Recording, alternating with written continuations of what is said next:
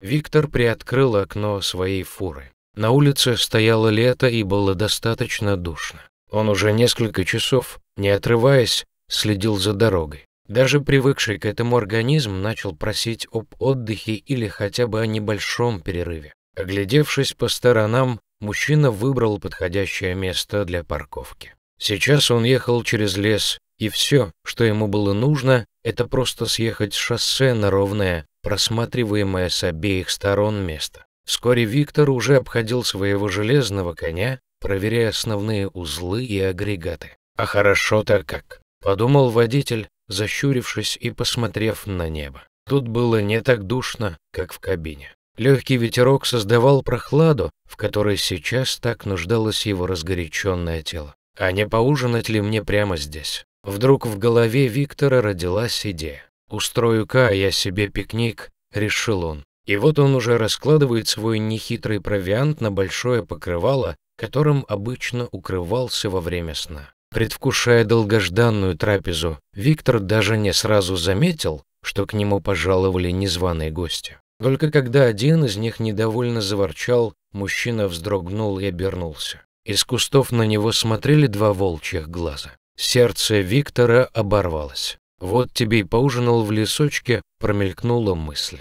Но в следующий момент он уже понял, что перед ним вовсе не взрослый волк, а всего лишь небольшой волчонок, которого, судя по всему, привлек запах пищи. По крайней мере, так изначально подумал Виктор. «Чего тебе? Кушать хочешь?» Вдруг спросил мужчина и, отломив кусок хлеба, кинул его волчонку. Но тот даже и не подумал кидаться на еду, безразлично проводив ее взглядом, а вместо этого снова жалобно заворчал. Виктор удивился. Он был небольшой знаток в поведении лесных хищников, но то, что те отказываются от еды, а требуют чего-то другого, сбивало его с толка. Еще один волчонок появился из кустов и также протяжно и жалобно заворчал, будто жалуясь на что-то. «Да чего вам от меня надо?» — недоумевающе спросил мужчина, поднявшись на ноги. Волчата тут же отбежали на несколько метров в сторону, но после этого снова остановились, продолжая пристально смотреть на человека и жалобно скулить. «Ну, дела?» — проворчал Виктор. «Вот ведь пристали». Ухмыльнулся он и снова сделал шаг по направлению к волчатам. Те опять отпрыгнули на несколько метров и продолжили свои жалостные песни. Стало очевидно, что они упорно зазывают человека вслед за собой. «Надеюсь, это не ваш новый способ охоты», — сказал Виктор и, оставив разложенные продукты, отправился за волчатами в чащу. Почти 20 минут он шел за серыми малышами, а те пристально следили, чтобы человек вдруг не передумал и не повернул обратно. И вот, выйдя к большому дереву, Виктор даже сел от неожиданности и ужаса. Прямо под деревом лежал крупный волк и смотрел прямо в упор на человека. Волчата тут же кинулись к нему, принявшись облизывать его и ласкаться. Первой мыслью Виктора было бежать. Бежать поскорее и подальше от этого опасного хищника. И он уже был готов к этому, но вижу вопрос в его голове не позволил этого сделать. Зачем же волчата так упорно заманивали его сюда? Приглядевшись, мужчина понял, что серый красавец под деревом лежит не по собственной воле. Стальные челюсти капкана прочно держат его лапу, не позволяя отойти. Так вот в чем дело, изумился Виктор. Никогда в жизни он не сталкивался ни с чем подобным. Поняв, что волчата осознанно пришли к нему, чтобы попросить помощи, он тут же проникся к ним уважением. «Хорошо, будь по-вашему», — вслух сказал Виктор и сделал шаг к лежащей под деревом волчице.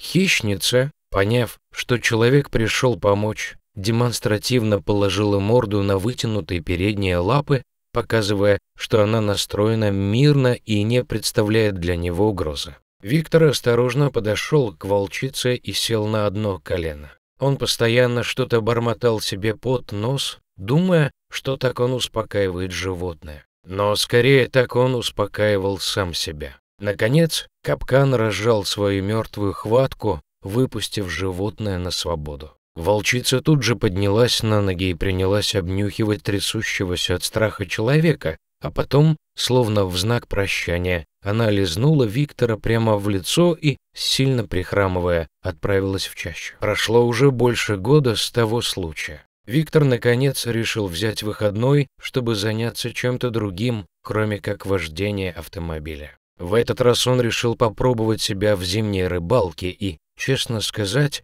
быстро пожалел об этом. Сидеть на льдине ему показалось холодно и скучно. Рыба почему-то совсем отказывалась брать его приманку, и вообще не так уж и любит он эту рыбу, чтобы сидеть тут часами. Виктор решил отправиться домой и скоротать время с большой кружкой горячего чая в руках. Он собрал свои снасти и мелкими шагами отправился к берегу. Но неожиданно Виктор провалился под лед. Холодная вода тут же обожгла его, заставив замереть дыхание. Глаза мужчины наполнились ужасом. Поняв, что он всего лишь в шаге от смерти, и не факт, что у него получится убежать от нее в этот раз. Хватаясь за край льда, он пытался выбраться на поверхность, но лед предательски ломался под его весом, а набравшая воды одежда, будто якорь, тащила его вниз. «Ну все, прощайте». Мелькнула мысль в голове у рыбака, но в этот момент он с удивлением заметил, как из ближайшего леса к нему несется стая серых собак. Или не собак. Обомлел мужчина. Да это же волки. И действительно, Та самая волчица со своим подросшим выводком спешила к нему на помощь. Да только как она могла ему помочь сейчас. Но, видимо, умное животное даже не задавалось этим вопросом.